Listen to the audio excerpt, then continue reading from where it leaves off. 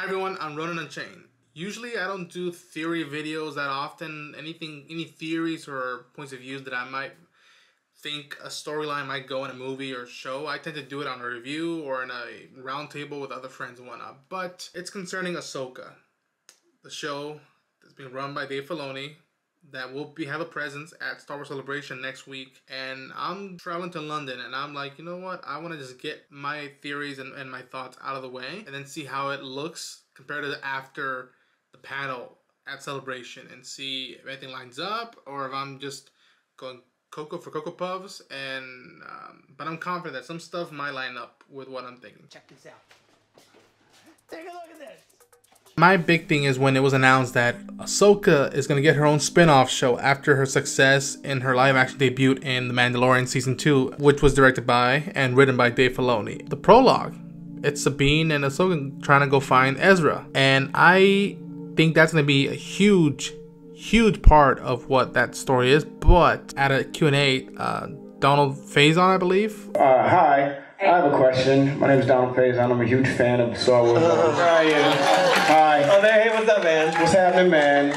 Um, so, how soon can we expect the Sabine Wren uh, Ahsoka Tano show?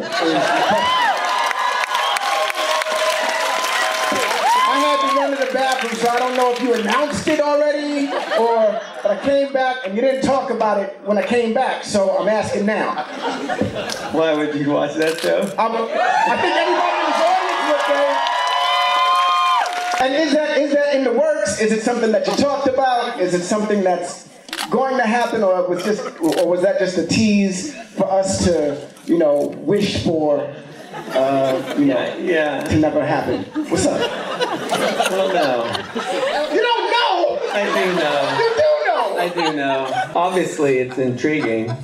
Um, it would probably make a good story. Man, that'd be a good idea. I have this crazy thing. I have to know what the story is about before I tell it. I actually have to. You have- know what it's about. They're looking for Ezra. yeah, yeah, yeah. We don't find Ezra, right? No, no, no, no, no, no. It has to be more than that. It has to be more than that. So we'll see. I love it.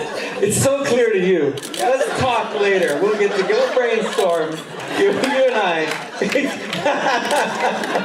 You're so excited about it. That's so great. So yes, the obvious is like we got to continue on what Rebels concluded. But why are we focusing on Ahsoka now? After Clone Wars, after Rebels, after Mandalorian, after her own books, why are we still focusing on, on Ahsoka? Interesting. Interesting. Interesting. And I think it has to do with okay, she left the Jedi Order. She doesn't consider herself a Jedi, but she still cherishes and uh, believes in the ideas of what the Jedi should be for the galaxy. And now she came close to dying in Rebels and was given a second chance via thanks to Ezra. What do you do now that after the Civil War that split the world and family you grew up on has concluded? What now? What do you do? How do how are you of service or are you not in service? Are you now more fulfilling about yourself and your own personal life? Whether it be individual or communal, I think Ahsoka is going to go deep into the more mysticism into the Force.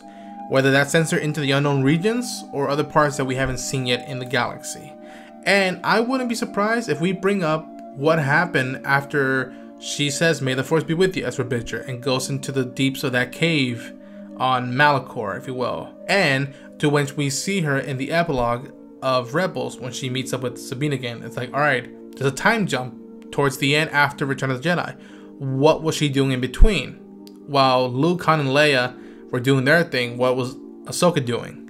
And what was you know the rest of the crew of the rebels doing so i would be fascinating if we looked into what she was doing in that meantime or just that okay now she's gonna go way more into the mysticism and probably elevate herself to a whole new level that maybe the likes of Qui-Gon Jinn have done before her. I find that fascinating because Filoni has said that this is gonna go full on more samurai Akira Kurosawa feel for a show which I I am pumped as hell. If, if we get more of what we got from her episode in The Mandalorian, ooh, we are in for a treat, folks. I think she won't be alone in her journey.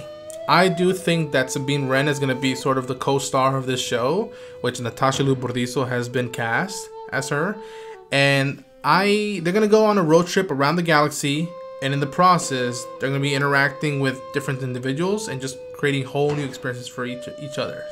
But I want to bring up that character again because Sabine and Ahsoka have a lot of similarities and a lot of differences from one another. Both have been casted aside from their families. Ahsoka with the Jedi Order, Sabine with Clan Wren. Once they were casted out, they went in completely different directions. One went on her own and did her thing. Sabine found a new family. They took her in, and Kanan Jarrus and Hera Syndulla eventually became her adopted father and mother. I like the fact that um, one became Fulcrum and one became a daughter. I, I like that that that distinctiveness. They have similar goals going into this show. Ahsoka, as I said before, she lost her family, friends, home that she lived and grew up by. Her cast out, cast out, the war, everything. She can get back to that, but can she make Ghost Crew that family whole again. After the war, is there any room to still do any good? What I liked about that is that Sabine is also in her in individual mission. Ezra tells her, I'm counting on you. So will the sister keep her promise? If so, what, what's, what's the possibilities afterwards? Is she gonna follow in Hera's footsteps and join the New Republic and become a ranger, if you will, or, or, you know, someone that that's high ranking that does good? Another cool similarity is that for me, Ahsoka and Anakin were always brothers and sisters now I like to think that like, all right, she can't save her brother, Anakin. By her point of view, maybe she doesn't know that he's turned, he went back to the light side, that he did bring balance to the force. But she can help Sabine find her brother, her, her lost brother again. And another thing is that like I, I do believe I don't know what Filoni has up his cards about Ezra Bridger. He's far, far away. Ah. But one way or another, alive or dead, he should come back home. Should and must come back home to his family. And you know what? As, as a little nugget for cameo for us fans of Rebels, I'd be it'd be cool if both Morgan Elsbeth comes into play with what she knows about Grand Admiral Thrawn, and what if Ketsu Onyo uh, comes back to help Sabine Wren in some way. Filoni must have told his cast and crew that look at these films as references to what we're aiming to do with the show of Ahsoka. I think there's a couple films you can throw out. In terms of main direction and, and style, I think it's Akira Kurosawa with all his samurai movies. I could be wrong, folks. Again, if I'm wrong, oh well, I'm not gonna lose sleep over it. But if I'm right, uh, shoot, I got some points on me as a nerd. I think that Filoni told them to watch John Ford's The Searchers, Lady Snowblood, and George Miller's Mad Max Fury Road. If you look at The Searchers, it's all about finding a child and bringing them home. And for the majority of the film, you just follow two characters. You follow John Wayne and Jeffrey Hunter. And it spans over years, good time.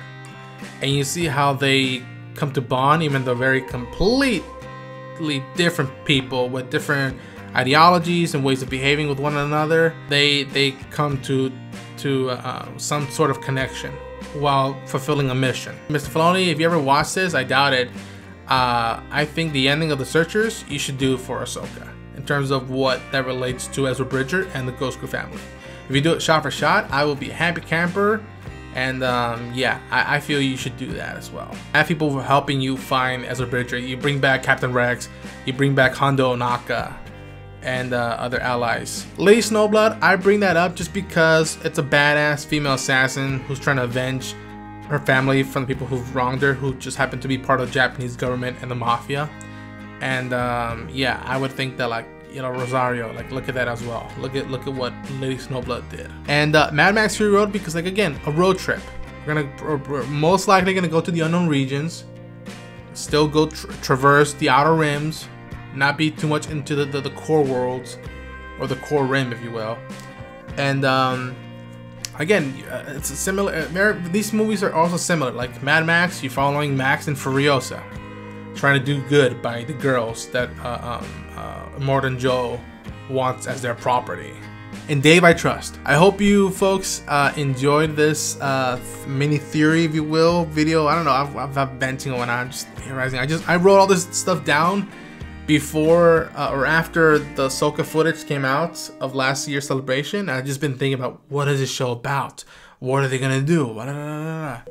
Um, and we shall see. Only time will tell. Thank you so much for uh, checking this out. If you bothered doing it, may the force may the force be with you, and this is the way.